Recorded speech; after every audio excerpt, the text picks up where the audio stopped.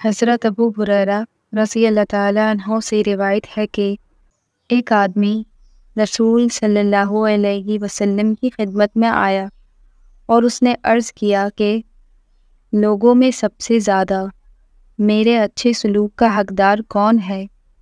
आप सल्लल्लाहु अलैहि वसल्लम ने फरमाया, तेरी माँ। उस आदमी ने अर्ज़ किया, फिर किसका हक है? आप सल्लल्लाहु अलैहि वसल्लम ने फरमाया, तेरी माँ का। उसने फिर अर्ज़ किया, फिर किसका? आप सल्लल्लाहु अलैहि वसल्लम ने फरमाया, तेरी माँ का। उसने अर्ज़ किया, फिर किसका? आप सल्लल्लाहु अलैहि वसल्लम ने फरमाया, फिर तेरे बाप का।